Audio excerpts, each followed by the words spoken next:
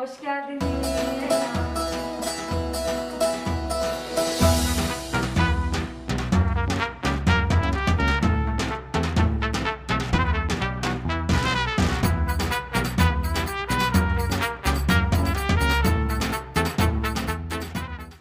Allah'a emanet etmiş.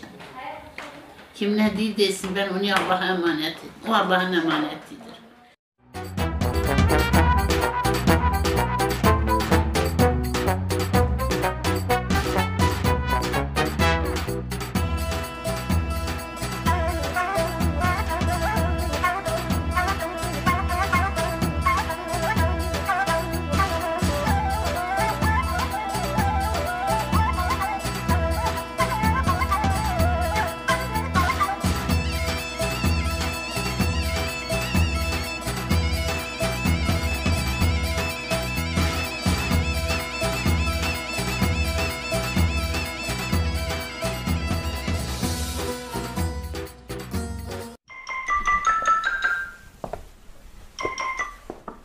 Alo. Alo. Canım merhaba ne yapıyorsun? Merhaba merhaba canım. Ne yapıyorsun? İyi misin? İyidir canım sen ne yapıyorsun iyi misin? İyi gayet iyi. Ne var yok? Nasıl? İyidir canım idare ediyoruz. Kendimizi çok şanslı şanslılardan hissediyoruz o yüzden. Bilmiyorum Abdullah Bey de aynı şeyi düşünüyor mu? Ben tabii abla benim şikayeti yok. Ben kendimi şanslı hissediyorum ki telefonda eşine propaganda yapabilen tek aday benim. Bu arada anne babalar da burada dedim selamlarını ilettim. Onlar da senin seçimle ilgili görüşlerini merak ediyorlar. Diyorlar ki ne diyor seçim hakkında?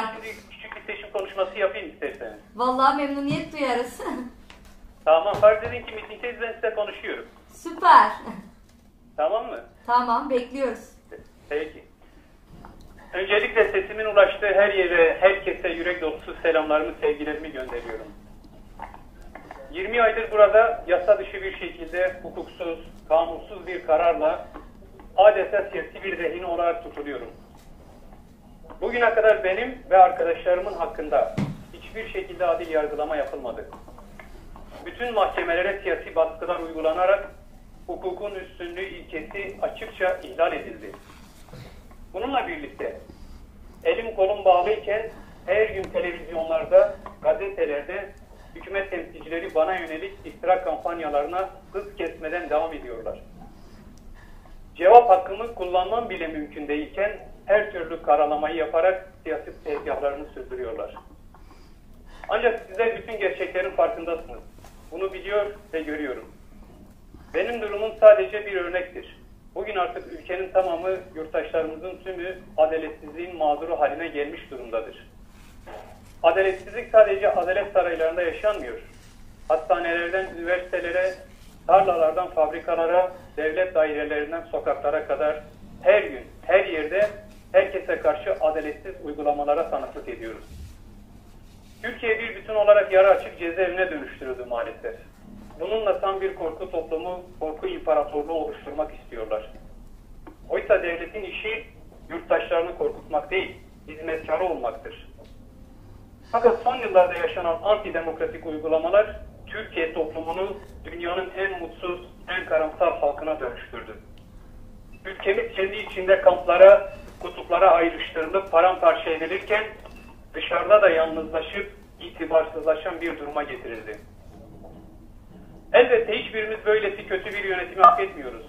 Dünyanın en güzel, en zengin toprakları üzerinde yaşayan yurttaşlar olarak ne mutsuzluğu ne de yoksulluğu asla hak etmiyoruz. Bu bizim kaçınılmaz kaderimiz değil. Buna mecbur ya da mahkum değiliz. Şimdi hep birlikte el ele verip geleceğin demokratik Türkiye'sini, yeni yaşamını, mutlu ve özgür bir hayatı inşa edebiliriz. Değerli kardeşlerim bugün umutsuz olmanın, yılgınlığın, korkmanın zamanı değildir. Ülkemizin bütün sorunlarını barışarak, dayanışarak, birlik içinde çözebiliriz. Hiçbir yurttaşımızı düşman gibi görmeden, ötelemeden, örselemeden yürek yüreğe verip büyük bir kardeşlik ülkesi olacağız. İnsanlarımızı partilerine göre, kimliğine, mezhebine, cinsiyetine göre ayırmayacağız.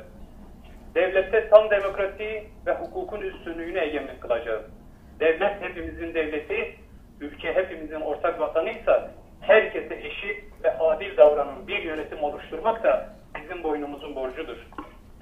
Kimse kendini ilahi evlat gibi hissetmesin, kimse ayrımcılığa uğramasın diye 81 milyonu kucaklayacak yepyeni bir politikayı hayata geçireceğiz.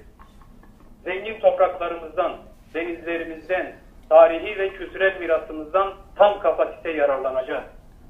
Betona ve gereksiz inşaatlara değil, toprağa, emeğe, alın terine, üretime, bilime yatırım yapacağız ve bu yoksulluğu mutlaka yeneceğiz. Türkiye gibi zengin bir ülkede sefalet içerisinde yaşamaya mecbur bırakılan milyonların utancı ülkeyi yönetenlere aittir.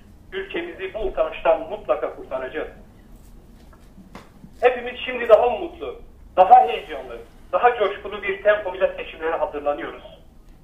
Ben burada dört duvar arasındayım ama biliyorum ki binlerce Demirtaş şimdi tarlalardadır, çapadadır, fındıktadır.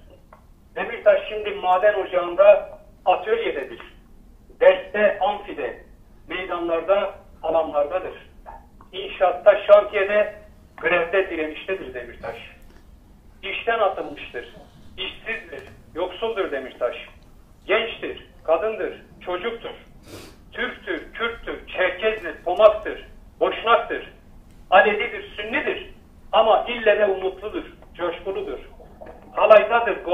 Govettedir, horondadır Demirtaş. Edirne'de hücrede tutulan değil, sizsiniz Demirtaş. Kendinize güvenin. Kendinizi onurlandırın. Kendinize verin oyunuzu. Bir oy hedefe, bir oy Demirtaş'a deyin. Unutmayın, bir oy çok şeyi değiştirir. Ancak senle değişir güzel kardeşim. Şimdi daha güzel günler adına değişim zamanıdır. Hadi birlikte yapalım. Birlikte kazanalım. Hepinizi en sıcak duygularımla, özlemle, hasretle selamlıyorum. Mutlaka kazanacağız. Ve özgür günlerde mutlaka görüşeceğiz. Hoşçakalın.